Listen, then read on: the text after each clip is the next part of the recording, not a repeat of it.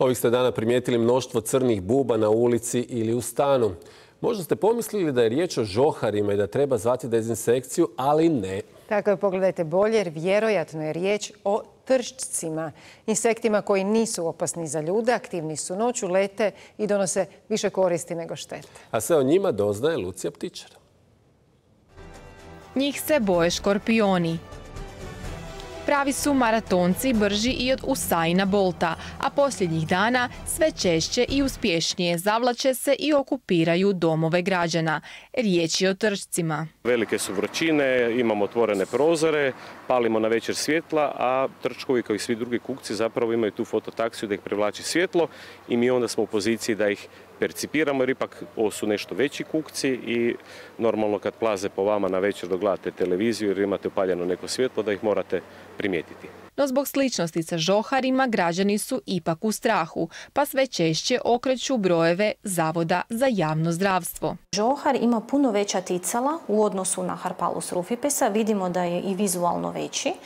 E, žohar ne leti dok trčak leti povećana najezda trčaka u Bjelovarsko-Bilogorskoj županiji. Imamo evo već preko 50 poziva, prvenstveno zdravstvenih ustanova, ne znam, ljekarni i privatnih osoba.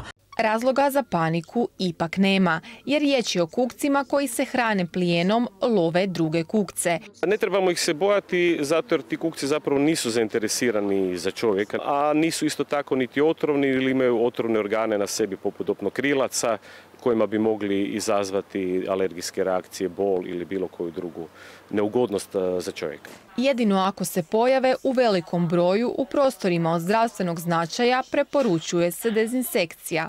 U protivnom za time nema potrebe. Dovoljno da ih mi sami mehanički uklonimo, znači možemo ih sakupiti e, i odnijeti u prirodu ili, e, ili koristiti, upotrijebiti usisavače i na taj način ih ukloniti.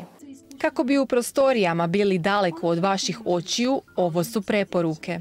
Prije svega trebalo bi obraditi otvore kojima se ulazi u prostor, a to su prozori, ventilacije, otvori vrata, otvori štokova, bilo kakvi procijepi.